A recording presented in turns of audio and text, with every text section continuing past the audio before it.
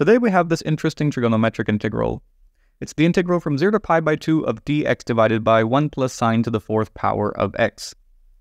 And it's not as extravagant as the integrals we do here normally, but it's a pretty cool solution development involving complex numbers. So yeah, definitely worth a video.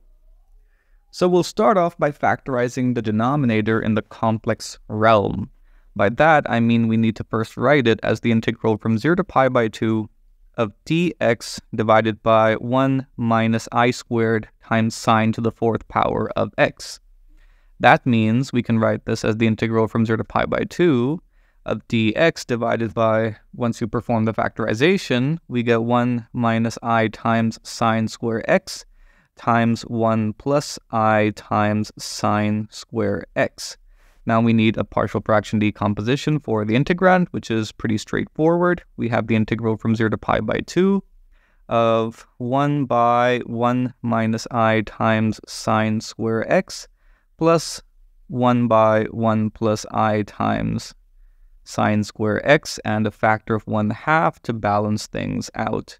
So that means I'm interested in two integrals. I'm going to call i sub 1 the integral from 0 to pi by 2 of dx divided by 1 minus i times sine square x, and I'll call the other integral i sub 2, evaluate them, and just add up the results.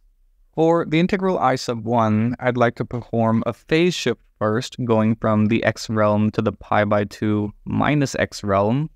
That would give me i sub 1 being equal to integral 0 to pi by 2 of dx divided by 1 minus i times sine of pi by 2 minus x. Whole thing is squared. And sine of pi by 2 minus x is, of course, the cosine.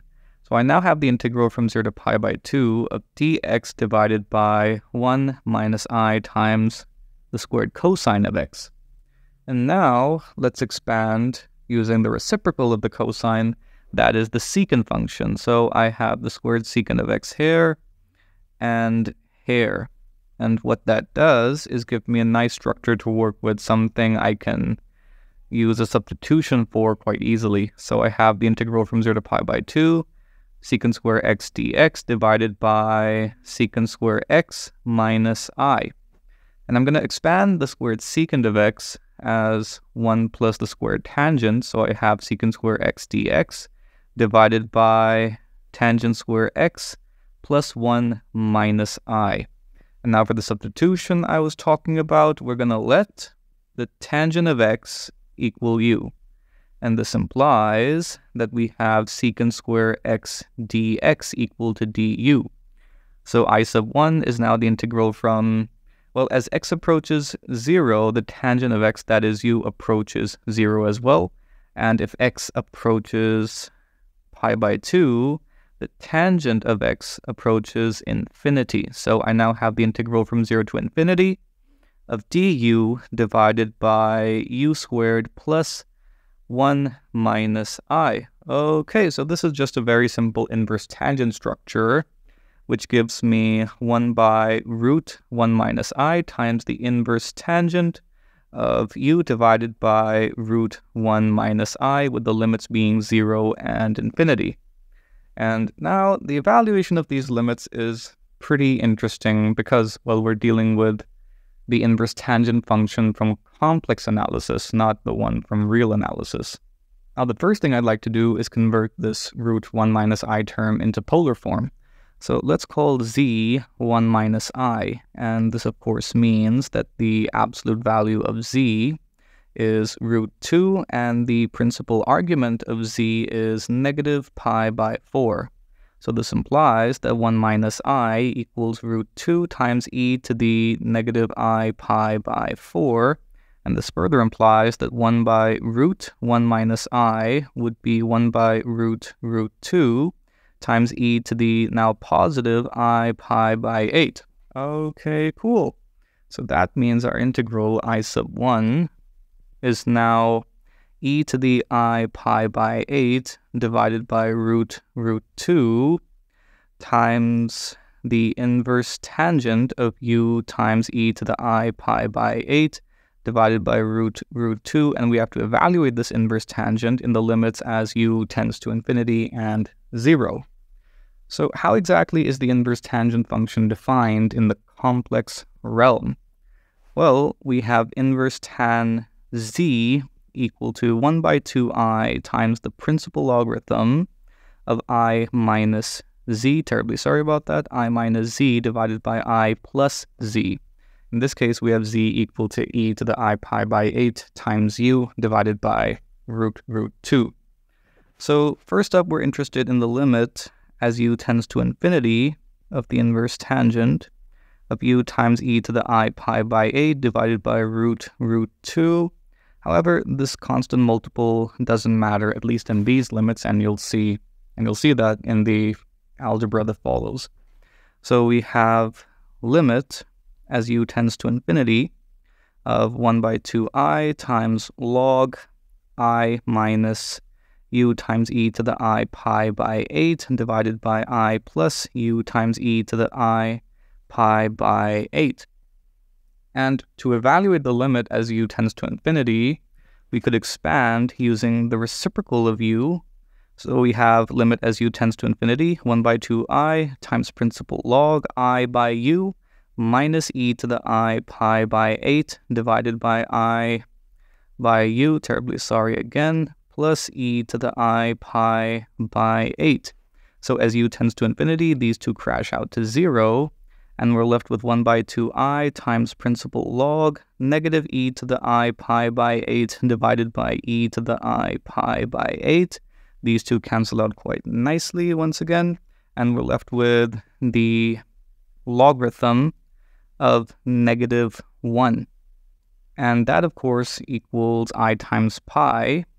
So we have this cancellation of the imaginary unit, and this implies that the upper limit, that is the limit as u tends to infinity, of the inverse tangent of u times e to the i pi by 8 divided by root root 2 equals pi by 2. And again, the constant multiple doesn't matter. We could just expand using it anyway, and we'd still get exactly the same results because of the cancellation. Blah, blah, blah. Anyway, so now for the zero limit, well, the zero limit is pretty straightforward. We have inverse tangent u times e to the i pi by a divided by root root 2. So 0 times some complex number is 0, and we have inverse tangent 0, which we know to be 0.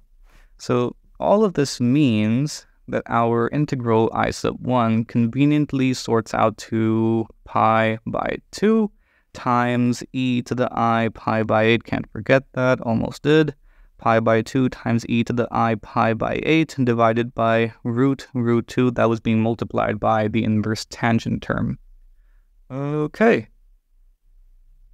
Now for i sub 2, we have it defined as the integral from 0 to pi by 2 of dx divided by 1 plus i times the squared sine of x. So after the phase shift and expanding by the squared secant function, I'm going to do this very quickly here. We have squared secant x dx divided by squared secant equals squared tangent plus 1. So we have 1 plus i. So it's pretty much the same structure. After the substitution, we get i sub 2 equal to now 1 by root 1 plus i times the inverse tangent of, terribly sorry about that, u divided by root 1 plus i with the limits being 0 and infinity. And you can verify quite easily that this would be, again, pi by 2 times now this thing in the polar form is e to the now negative i pi by 8 because of reciprocation divided by root root 2. So yeah, that's pretty similar to the integral i sub 1 and now we just have to club everything together once again.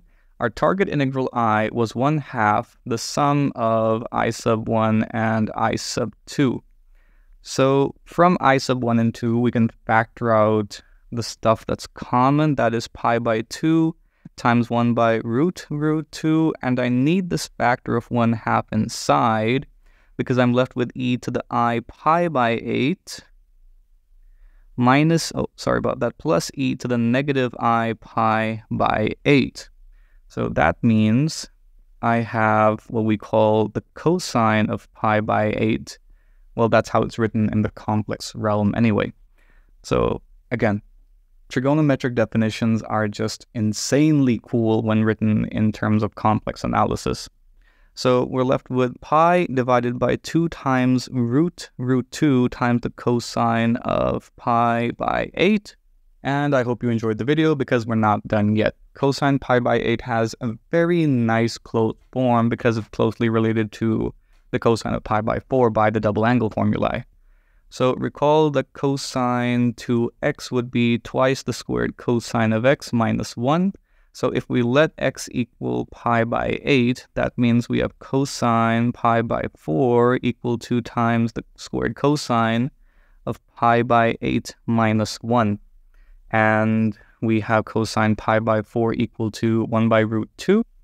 That means we have this thing here, plus 1 equal to twice the squared cosine of pi by 8, which implies that we have 1 plus root 2 divided by 2 times root 2 equal to the squared cosine of pi by 8, and we can get rid of the square by square rooting everything, meaning you have this really nice closed form for cosine pi by 8. So all of this implies that the target integral i equaled pi by 2 times root root 2 times 1 plus root 2. And this is divided by 2 times root 2. Everything's in a square root. Okay, now to make some of these square roots disappear, we have in the denominator here root 2 times root root 2. So root root 2 squared, that's a cute little 2 over there, squared equals root 2, and we already have another root 2 as well, so square that again, and we get 2, and multiply that by the 2 over here, that will give me pi by 4. So this implies that i equals pi by 4 times the square root of 1 plus root 2, which is a pretty cool closed form. I hope you enjoyed the video. Be sure to like and subscribe. Thank you. See you next time.